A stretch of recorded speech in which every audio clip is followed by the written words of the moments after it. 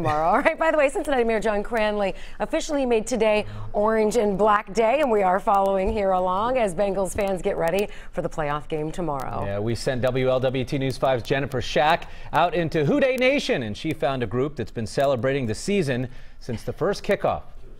Mayor Cranley may have recently declared today Orange and Black Day, but here at this office, they've been on board all season.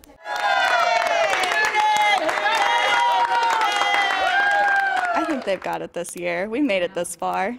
Bengals fever started at CAI Insurance even before the season began. They've been holding office tailgates and casual Bengals Fridays periodically since September, and now the excitement is culminating. Hey, this is it. It's been 9,133 days since the Bengals won their last playoff game 25 years ago.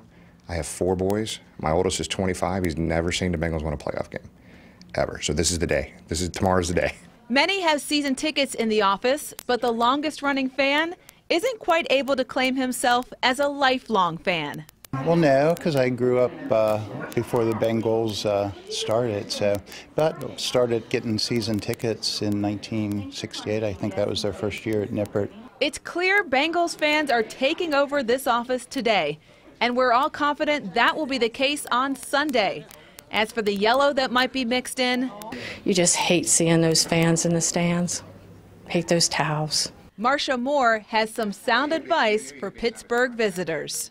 Not to go to the stadium and uh, keep your mouth shut, keep your, your towels in your pocket, and just leave this old lady alone.